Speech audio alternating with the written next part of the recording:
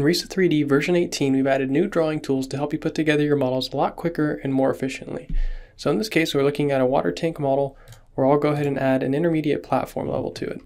So to do that, I'm going to click Members, and it'll automatically bring up my drawing tools. So I'm going to display the grid, and what I'm going to do is move this to a new location. So all I need to do is do click to locate, place the node, and in this case, I actually want to use the XZ plane, so I can quickly change that here. And what I want to do is add an outrigger that goes four feet. So to do that, since this is set to 30 at one foot, all I need to do is count over one, two, three, four. And then all I need to do on the other side is just go ahead and move that drawing grid origin again and say click to locate, click that node, and again, just draw that member. So I can go over one, two, three, four. So once that's done, I can turn off the display grid and then I can just connect these two points with another member. So instead of having the member cantilever out, maybe what I want to do is go ahead and have this be supported by a brace. So what you can do now is go ahead and turn the display grid back on. Maybe what I'll do is have it be in the X, Y plane, and I'll go ahead and rotate it by 180 degrees. And so now I can count down the four feet that I need to get this 45 degree angle. So I can go here and I can add that brace in.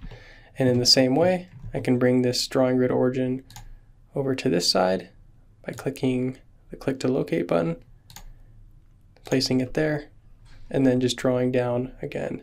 So go home, members, one, two, three, four. I can go ahead and click. And now maybe I want to break down the span of this supporting brace. So what I can do now is go ahead and set my snap settings to the quarter points, which will inherently take care of the half point. So here I can wait and then I can hover my cursor over and it says now half point and I can now click to the supporting node.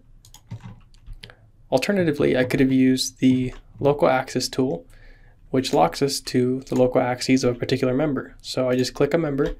Now when I click on the half point, I'm locked to the local y-axis in this case.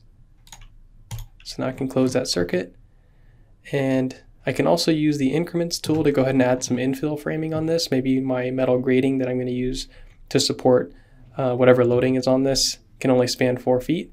So what I can do with that is simply come over and since my snap settings are set to four feet, I can wait for the program to let me snap to that point. I'll also turn off the quarter points and the perpendicular, that way we don't snap to a wrong point. And now I can just repeat this process across the length of the platform. And so now maybe I want to add a handrail system around there to give some protection to the occupants.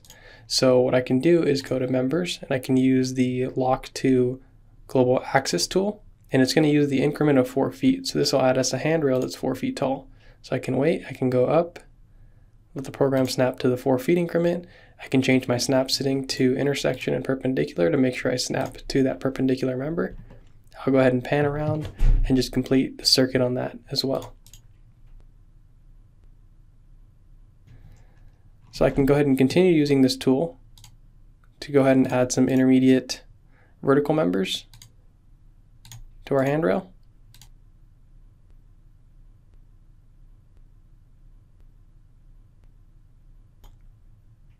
So now we've completed our cantilever platform for this water tower. And maybe I want to use the global plane tool to go ahead and break down the span of some of these braces for my tower. So what this does is basically when I click on a plane, when I click on a member, now the program has created a plane for which I'm locked to uh, drawing any new members on. So in this case, it's set to the XY plane, and so what I can do is go ahead and change that to XZ in my case. And the next time I go to draw an element, it's going to use the XZ, but in this case I need to use actually the YZ.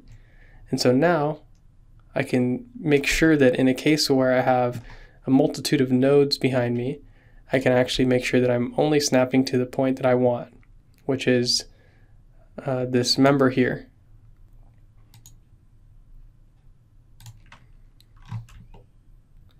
And so this gives you a great way of making sure that your new members are only drawn in the plane that you want them to be drawn in.